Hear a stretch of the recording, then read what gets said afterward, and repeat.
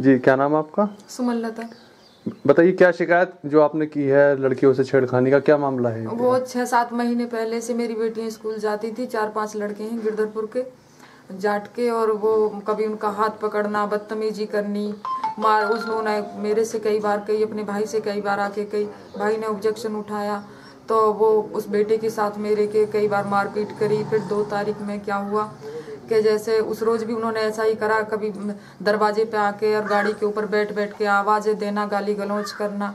अंत ये हुआ कि अंदर घुसाए लात मार के दरवाजे का गेट टूट गया और उसके बाद आके घर में बेटियों से, मुझसे, मेरी सासू माँ हैं, बूढ़ी हैं, बेटे से मारपीट उन्होंने खूब ज़बरदस्ती कपड़े फाड़ दिए बेटियों के। और बेटी मेरी एक बीए कर रही है, एक इंटर के पेपर दे रही है, मगर उन्होंने बिल्कुल और एक बेटी मेरी एट्थ क्लास में है। उसने साफ़ मना कर दिया, बेटियों ने इतनी डरी हुई हैं कि हम स्कूल नहीं जाएँगे, मैंने और वो घर से बाहर नहीं निकल रही हैं। वो कंटिन्यू अपनी हरकतों से बाज नहीं आ रहे हैं और हम इतने डरे हुए हैं कि पूछो मत, मैंने कई बार थाने में जाके शिकायत की है। तो वो दरो वहाँ से भी कोई कार्रवाई वो नहीं कर रहे पता नहीं उन लोगों ने पैसे लिए हैं, क्या करा है, क्या नहीं।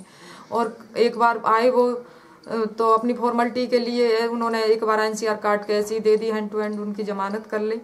और वो एक बार फिर आए फिर मैं जैसे गई थाने। तो उन्होंने आगे कहा है कि अगर अब की बार तुम्हारे साथ ऐसा होगा तो हम उसके बाद कानून को कोई कानूनी कार्रवाई करेंगे।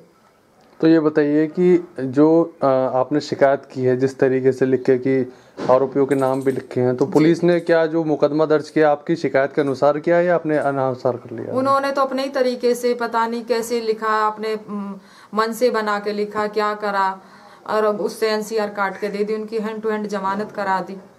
तो आपने अभी ट्विटर पे भी शिकायत की है इस मामले की और अभी उस पर भी आदेश हुए हैं ऊपर से। तो अब क्या कार्रवाई कर रही है पुलिस का? कैसा रवैया है अभी? अभी उनका कोई रवैया नहीं है। वो कल अब आए थे। मैं यहाँ नहीं थी तो कह के गए हैं कि अगर अब की बार तुम्हारे साथ कोई मारपीट होगी तो हम कुछ जब करेंगे या अब अब आप ये चाहते हो कि हम फांसी दे दें उन लोगों की? तो क्या क्या होना चाहिए? मतलब ये रवैया कैसा है पुलिस का? क्या चाहते हैं आप इसमें आगे? उनको कोई मतलब सजा तो दी जाए मेरी बेटियाँ तो घर से नहीं निकलनी क्या मैं पढ़ाई बंद कर दूँ या फांसी लगा लूँ जहर दे दूँ क्या करूँ मैं? तो ये जो लोग हैं कौन लोग हैं ये? ये जाट हैं।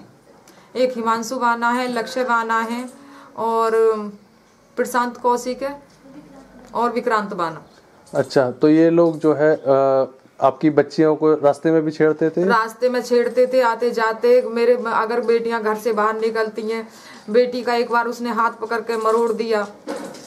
मैं क्या करूँ? मेरी तो रो रो के रात कट रही है। मैं पूरी पूरी रात जागती मेरी सासू माँ है। उन्हें भी उसने लात घूसों से खूब मारा। और कल माँ ने भी मेरी सास, माँ, सासू माँ ने दरोगा से रो रो के खूब गुहार लगाई, मगर वो कोई सुनवाई नहीं कर रहे।